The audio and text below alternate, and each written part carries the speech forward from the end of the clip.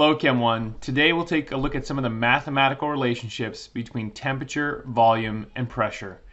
These equations are known as the gas laws. Let's get started. The properties of gases are dependent on four things pressure, temperature, volume, and the number of particles. Throughout this section, you might hear me refer to STP or at STP. What I'm saying is at standard temperature and pressure. A lot of times when we talk about gases, we talk about them at STP, which eliminates any of the changing in variables temperature and pressure. Standard temperature is 0 degrees Celsius, which is also 273 Kelvin. And standard pressure is 1 atmosphere, which is 760 millimeters of mercury. Anytime I would say at STP, you should assume that that, that is the temperature and pressure I'm talking about. We call these laws variable state gas laws. You can kind of think about them as a before and after. Basically, you have a gas, and one of the variables undergoes a change, and we want to calculate how that affects the other variable. Most of the time, it doesn't matter what units you're in, as long as they're the same on both sides of the equation, except for temperature. Temperature has got to be in Kelvin, because the Kelvin scale doesn't have negative values and won't mess with the math as we do these calculations. The first equation we're going to talk about is Boyle's law. Boyle's law shows the relationship between pressure and volume. Pressure and volume is an inverse relationship, meaning as pressure increases, volume decreases. And this is something you understand. If you look down here at this piston, as we increase the pressure on the gas, it's going to take less volume. So as the pressure is high, the volume will be low. You even understand this if you squeeze a balloon and increase the pressure on the outside, it's going to decrease the volume of that balloon. The math for Boyle's law looks like this. P1V1 equals P2V2. All right, let's try an example problem says the volume of a gas at 0.977 atmospheres is 300 milliliters. It's telling us the pressure and the volume before the change has taken place. So we're going to label that as P1, V1. And then it says what is the new volume if the pressure is increased to 1.86? So this would be P2. We'd set this up as 0.977 times 300 equals 1.86 times V2. To solve this, we divide both sides by 1.86 and we'd get V2 by itself. And when we solve for V2, we'd see that it's 158 milliliters. Here's another example. We have a gas that's going from 4 liters down to 0.05 liters, and the initial pressure is 0.98. The key here is you have to make sure you label these things correctly. This 0.98 atmospheres is going with 4 liters, meaning that if you make 4 liters V1, that this 0.98 has to be P1 because those two measurements go together. This volume here would be V2. We'd set this up and do the math and get 78.4 atmospheres. The next law we're going to talk about is Charles' law. This shows the relationship between volume and temperature. This is a direct relationship, meaning when temperature increases, volume will also increase. This is something that you understand. This is why we don't heat closed containers of gas because they will expand and create dangerous situations. Once again, if we had a closed system of and a gas inside, if we added heat to that closed system, that gas is going to expand and take up more volume. As temperature increases, volume increases. The problems here are very similar. It says if a gas occupies 2.32 liters, so that would be V1 at 40 degrees, so that'd be T1. What's the new volume at 75 degrees, which would be T2? The thing we need to pay attention to here is that we're in Celsius. We cannot do gas law problems in Celsius. It has to be in Kelvin. So the first thing we need to do is convert to Kelvin. The equation is on your equation sheet, and if you look it up, you'll see that it's just simply adding 273. So we take 40 and add 273 to get 313, and we take 75 and add 273 and get 348 Kelvin. Now we're ready to set up a problem. V1 over T1 equals V2 over T2. So V1 would be 232 over 313 equals V2 over 348. The easiest way to solve this problem would be to cross multiply. We're going to cross this over here, or in other words, we're going to multiply both sides by 348. This will cancel, and now we have 348 times 2.32 divided by 313, and that will give us V2, which will work out to be 2.58. You can always check your answer to make sure if it makes logical sense. Look, we have a volume of 232 at this temperature, and then the temperature went up by about 30 degrees, and guess what?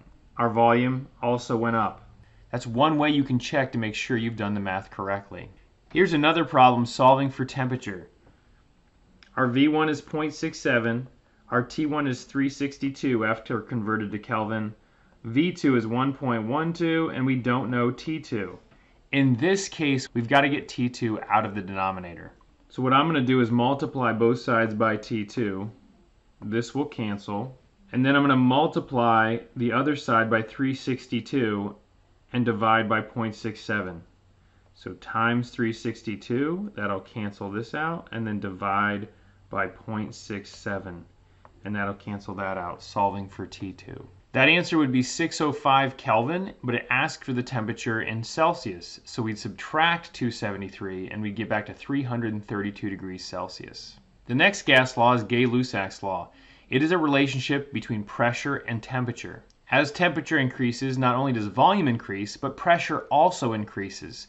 Once again, this is why we don't heat up closed containers of gas. It's dangerous. These practice problems look very similar to the last law, we're going to have to make sure we keep our temperatures in Kelvin so we don't have negative temperatures. You can see that we're going from 22 to 60 with our initial pressure, so P1 being 3.2. So our initial temperature is 22 and our final temperature is 60. We'd set this up, calculate for P2, and we get 3.61 atmospheres.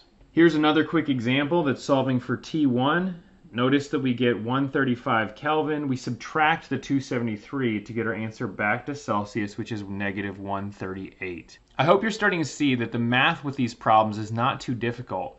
As long as you identify the variables correctly and put them in these basic equations, you're going to get the right answer. Alright, now that we know the three basic gas laws, Boyle's, Charles, and Gay-Lussac's law, now we're going to talk about the combined gas law, which is taking all those gas laws and putting it into one equation. You can see we have Boyle's law present, which is a relationship with pressure and volume. You can see that we have Charles' law present, which is a relationship between volume and temperature. And you can also see that we have Gay-Lussac's law present, which is a relationship between pressure and temperature. So within this combined gas law, it's all the other three laws moved together. The way you're going to identify these problems is that all three measurements will be present.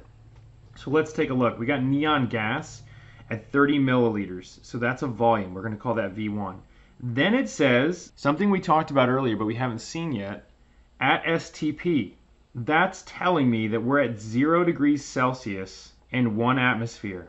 And that zero degrees Celsius is 273 Kelvin. So it can simply say at STP, and that tells you two variables right away. What is the new pressure? So we're looking for P2. If the temperature is increased to 30 degrees Celsius. So 30 plus 273 is 303 Kelvin. And decreased to 20 milliliters. So this would be V2. So lots of variables here to keep straight. Our P1 is 1 atmosphere. Our V1 is 30. And our initial temperature is 273. Our P2 we do not know. Our V2 was 20 and our second temperature was 303. At this point, we times both sides by 303. I would probably simplify this term and then I divide both sides by 20 to get P2 by itself. And you should come up with 1.66 atmospheres. This equation's handy when you have more than one variable changing in a scenario. For the sake of time, I'm going to move past this one right here, and I'm going to go ahead and show you the last one. This is another basic combined gas law problem. If you look at the last one here, there's a couple things to note. First of all, it gives you the first scenario, which is V1, T1, and P1. But then it says correct to STP. What that's telling you is the second scenario should be standard pressure, which is 760 millimeters of mercury, and standard temperature, which is 273 Kelvin. Then we just solve for V2, which works out to be 232 milliliters. Anytime you see something that says correct to STP, it's telling you two variables. I know we just threw a lot of equations at you just now, but a lot of the equations are very similar. All these equations can be found on the equation sheet that you were given at the beginning of the year. You'll never have to memorize them. You just need to focus on identifying the variables, putting them in the right spot in the equation, and calculating your answer. If you have any questions about any of this, make sure you ask me. Definitely try the practice problems. Keep up the good work. See you soon.